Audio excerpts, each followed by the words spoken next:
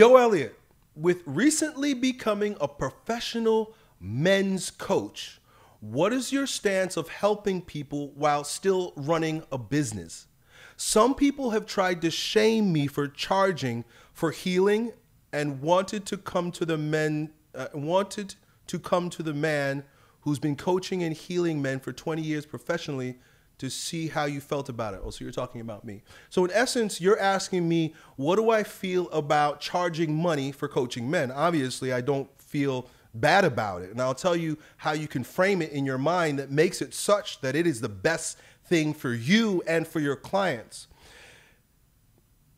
I love the fact that you're becoming a professional men's coach. It's something that's new, right? Like guys like us didn't exist before for a myriad of different reasons, but all of a sudden men are waking up and they're realizing there's more to life and that there are some guys that are privy to it and I can get near them, I can get around them and I can receive what I didn't receive from my father, my grandfather, my uncles because we live in a world that is uh, lacking in father energy. This is all a byproduct of the breakdown of the family. The fact that we need men coaches, the fact that I even exist for men to speak to means, well, where were our dads? Where are our fathers? Where were the where were the red pill granddads and uncles telling us the things that we needed to know about women, right? Like, because mommy is not going to tell you the nature about women. Women, women don't even know their own nature for the most part.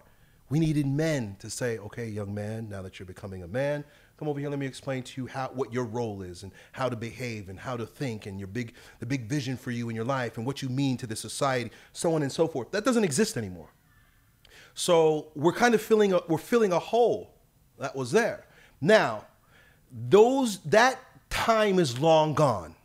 It's long gone. And i believe that we can make a comeback to that time if we repair the family. This is this is my ultimate vision for the work that i do is to make families great again, right? Because that's how men produce strong men is by being a good father, right? We need our fathers back. We need father energy. We need patriarchy back.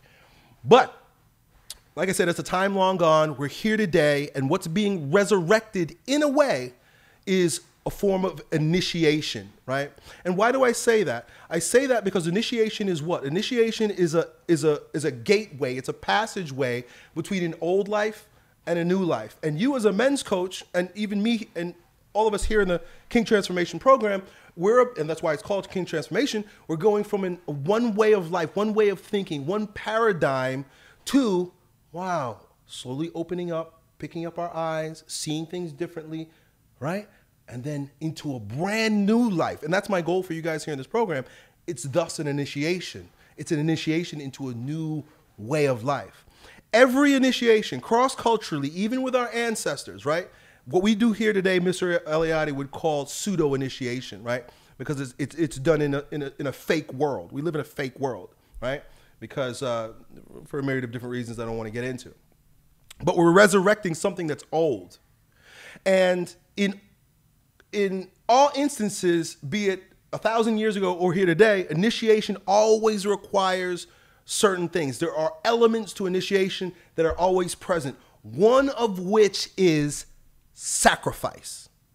There's no initiation without a sacrifice. Of course, you're sacrificing your old self, you're sacrificing your old attachments, you're sacrificing your blood in many instances, right? You're asking for some money. Imagine we had to sacrifice blood. In fact, my brother did a Native American initiation when he was in college, and he he literally spilled blood. He, they pierced his skin, and he had to pull himself away from it in blood. He still has the scars. He has two scars here and two scars on his back where he was pierced and then popped through in order to shed that blood as uh, as a, as a sacrifice in initiation. All initiation for all men requires sacrifice, whether we're conscious of it or not.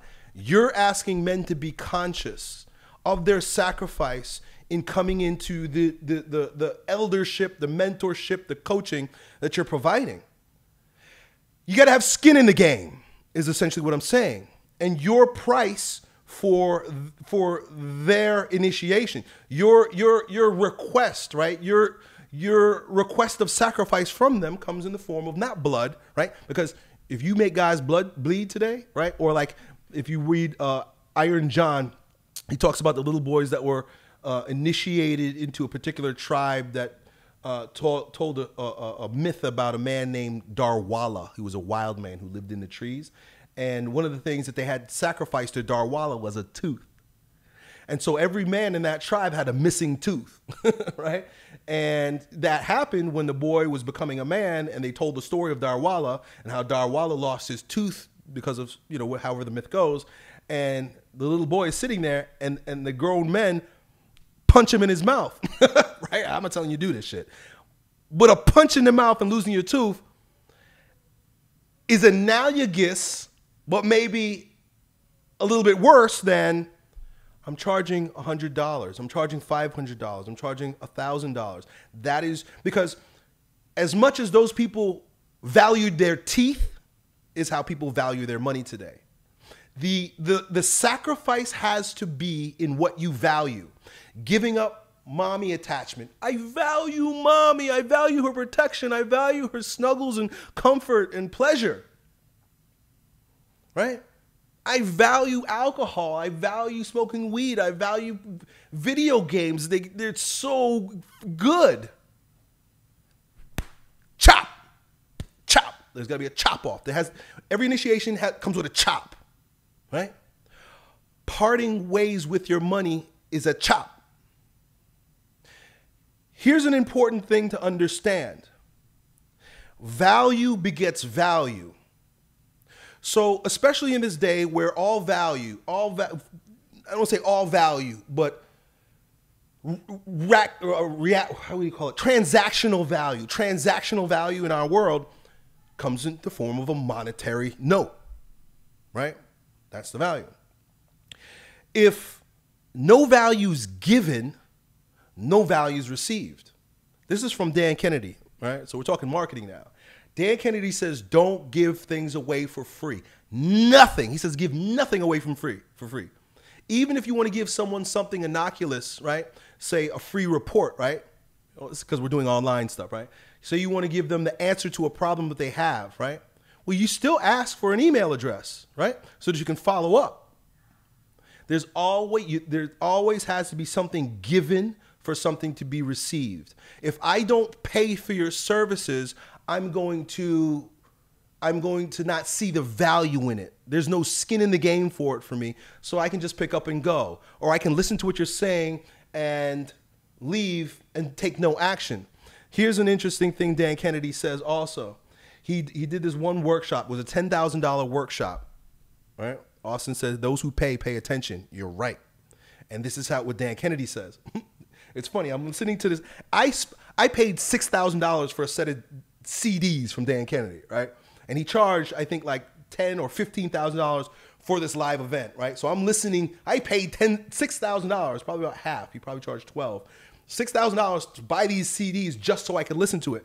So it was like I was at the event where he was teaching these marketing these these, these truths. You know, market good marketers are philosophers and psychologists.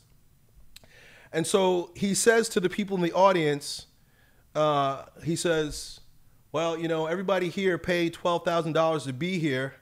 And because you paid $12,000 to be here, it's going to be a great event, whether I say anything or not.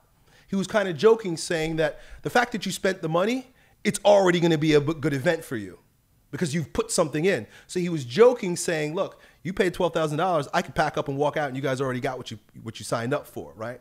it's the value put and the and of course he didn't do that but he was making a joke he's trying to kind of like uh, paint a picture for them to let them to remind them that the invested value is concurrent with the received value you want somebody to value something that you're giving to them charge them more right these guys who are complaining that, and trying to shame you it's because they don't want to put any skin in the game right? They want easy come. But you know what they say about easy come? Easy go.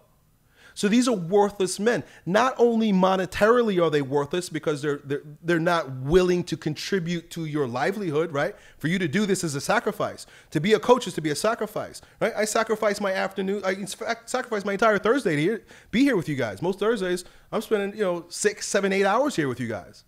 I sacrifice. They're not respecting your sacrifice by not putting any skin in the game, right? So it's only fair, but it's more than just fair. it's beneficial, particularly to the person that's sacrificing, that's paying, that's putting skin in the game. And whether it be money or whether it be blood, a tooth, whether it be cattle, whether it be whatever it is, you got to give something up to get something. Value put in equals value put out. That all being said, right? I just want to establish that fact that it's good and it's it's right for you to charge. There's nothing that says you can't ask someone to put value in in a different way. One of the greatest things that I used to do when I did uh, grounding camps and some of my other, every time I did a clinic or a workshop, I always offered, not always, but most of the time offered uh, scholarship opportunities. We've had so many scholarship opportunities over the years in a lot of my programs. And what is a scholarship? A scholarship means, okay, I get it. There's some people that legitimately do not have the money, but really need what I'm offering. So, still, there's got to be skin in the game. So, a lot of these guys that used to come to my events that I gave scholarships to, I would ask them to do a number of things. Number one, write me an essay or make me a video about why you deserve this scholarship. That's skin in the game from that person. And by them doing that, they're increasing the value. You're helping them increase the value of the scholarship because now they have to think, well, why do I why do I want to do this? Right? You got to ask them that too. Why do I want to do this? And what is it worth to me in my time and energy to write this? And why am I a worthy choice for this scholarship? You got they got to have hoops. They got to have skin in the game. Write that essay, make that video also, another thing I would do with these guys who I would offer a scholarship is I'd say, hey, by the way, I may lean on you for some uh, volunteer work, some help. You've seen guys at my grounding camp. And these are guys that they don't pay to be there, but they're working, right? When I need help with something, when I need somebody to run me an errand, when I need like, you know, whatever it is, these guys are my right hand men and they're helping me out. They don't pay to be there, but there's skin in the game. Right? There's skin in the game. And then finally, just to make the best use of anybody that you gift a scholarship into your programs for, you ask for a testimonial. And these are going to be your best testimonial guys because they are most appreciative. You know, they say, look, Austin, like I really legitimately didn't have the money to be here. I had to scrap together just whatever pennies I had to get on the airplane. I, there's no way I could have paid your, your, your, your ticket price. But thank you for opening an opportunity for me to sacrifice some time, some of my energy, some of my uh, whatever it is that you ask of them. And I benefit greatly from being here. They're going to be very happy to offer you testimonials, bro. So I see you're kind of following up with a question. Let me see. How would you build value in yourself or qualify yourself to have people believe a sacrifice of money is worth it? Just like I said, what you want to do is get as many testimonials as possible. People are skeptical. People are skeptical, and I understand why people are skeptical. But if you have 20 videos from guys that have been there and they're all saying, This was great, this was awesome, I'm happy I did it, at first, I was a little leery about the investment, but once I got there, I realized that it was worth 10 times what I paid. You want people to say stuff like that. And the way you do that is by creating an incredible experience for them, helping them have breakthroughs, and then asking them for testimonials. Then you don't have to prove anything. You don't have to prove anything. Uh, oh, who, was his name? I just did an interview with him. Um, the kid on YouTube. I'm sorry, I'm drawing a blank right now. I'm gonna I'm gonna find him. Uh, who did I just do an interview with? He does a really good job. Uh, he calls himself Headman. Casey, yeah. What's it? What's it, what's Casey's uh, first and last name? I'm embarrassed. Zander. Thank you, Patrick. Casey Zander. I'm gonna roll right now, so my brain is like, I'm not there. um, Casey Zander is a great example of this.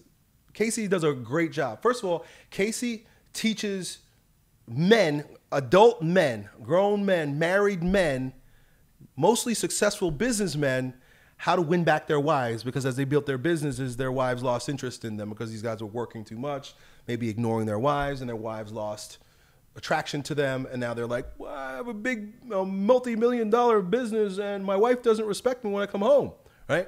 they're like, what the fuck do I do? Well, Casey is a kid. He's like in his early 20s. He's never been married.